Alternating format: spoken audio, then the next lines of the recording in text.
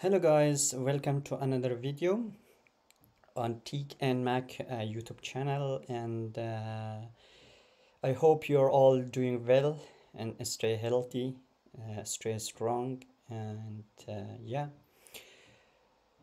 Today uh, I'm going to show you how to change your username on MacBook and the first thing that you should do is click on Apple icon on the corner and choose uh, system preferences.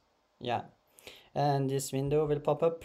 Uh, here you have to search for group uh, user and groups as you can see here.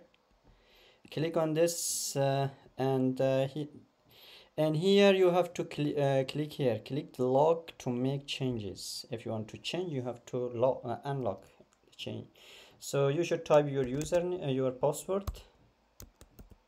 Um, and now you are able to change your username. And uh, in order to change your username you should uh, press control on your keyboard and right click on the user. And you have to choose advanced option. And this window will pop up.